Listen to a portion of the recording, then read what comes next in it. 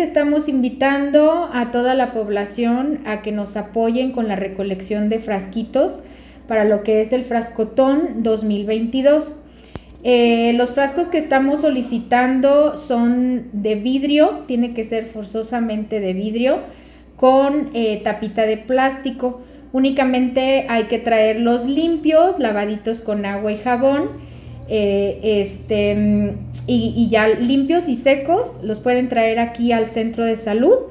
Eh, por ahí con el personal de vigilancia los pueden dejar o preguntar por el área de nutrición este, o de salud materna y ya nosotros nos encargamos de, eh, guardarlos.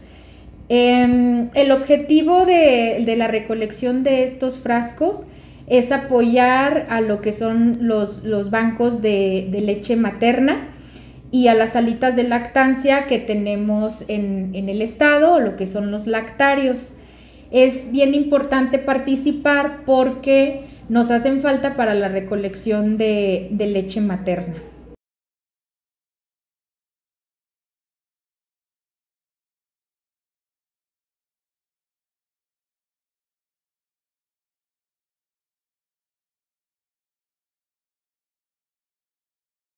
Sí, la próxima semana se llevará a cabo lo que es la semana de la lactancia materna.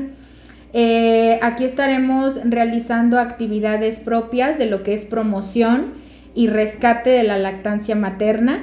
Sobre todo estamos enfocándonos mucho ahorita en la, la promoción de la lactancia materna exclusiva para nuestros bebés menores de seis meses. Eh, como sabemos, la leche materna pues es el mejor alimento para, nuestros bebés y eh, es bien conocido también sobre los beneficios que tiene a largo plazo lo que es la lactancia materna. Entonces, la promoción del seno materno exclusivo en los menores de seis meses. Un bebé no necesita agua, no necesita test, solo lechita de mamá durante los primeros de seis meses. Igual hago la invitación para que si alguna mamá tiene dudas sobre su lactancia o quisiera recibir alguna asesoría sobre su lactancia materna, eh, puede acercarse aquí al área de nutrición y se le puede dar un seguimiento, un acompañamiento o asesoría eh, a la mamá y una vigilancia de crecimiento para su bebé.